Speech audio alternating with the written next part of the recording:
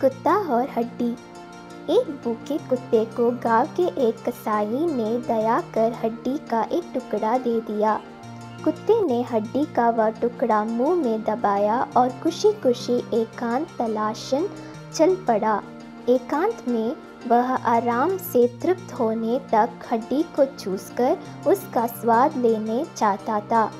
रास्ते में एक नदी पड़ी। कुत्ता जब नदी के किनारे से गुजरा तो उसकी दृष्टि नदी के पानी पर दिखाई दे रही अपनी ही परछाई पर पड़ी। मूल कुत्ते ने सोचा कि कोई दूसरा कुत्ता वहाँ मौजूद है जो उसे घूर रहा है। अपनी परछाई से उसे अपने मुँह में दबी हड्डी दिखाई दी और वह मूर्खत्वशा सोचने लगा कि दूसरे कुत्ते के पास भी हड्डी है। वह लालच से बर उठा और उस हड्डी को हथियाने अपना दिमाग लड़ाने लगा। उसे अपनी शक्ति पर अभिमान था।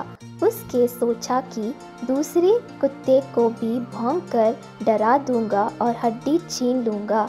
अगर ये बौकने से नहीं डरा तो लड़ाई में तो मैं इसे हरा ही दूँगा।